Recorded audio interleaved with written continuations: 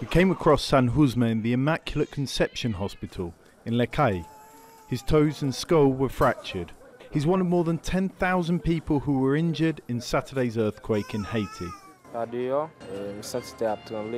I ran out to try and open the gate, but a cement block fell off the roof of the neighbor's house and onto my head and foot. All week, staff at local hospitals have been struggling with that huge influx, even as many deal with their own life changing problems. My house has collapsed. We are sleeping in the street. On Saturday, when I got here, I saw how many people were in need, and so I decided to work, and I've been here every day. Many of the patients are staying outside for fear the hospitals themselves could collapse in the aftershocks. Some have cracks already, but the doctors and nurses have managed to keep order. In this hospital, the Immaculate Conception, what they're telling us is that they're short on staff, uh, medicine, and equipment, but they're just about coping with the flow of people coming in.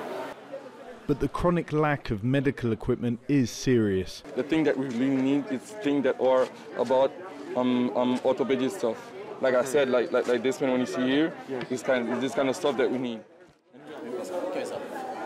All the doctors say the same. They desperately need more materials to treat fractures and broken bones. Without them, the hospitals are little more than waiting rooms for the seriously ill before they can be airlifted to Port-au-Prince.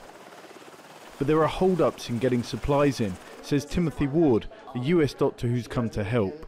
We have a lot of different facilities. There are different organizations that are trying to bring in the supplies, um, but they are having a hard time getting them on site.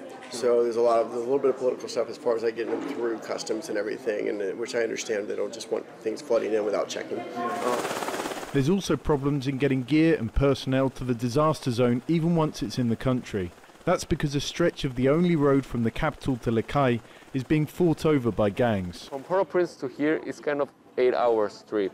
The UN is also taking part of that. They are seeing how they can send convoys. But that the first day, since Saturday to, from to, to today, sorry, it's been a huge problem. How to coordinate the convoys. The earthquake was almost a week ago, but the need to deal with its consequences remains. John Holman, Al Jazeera, Cayes.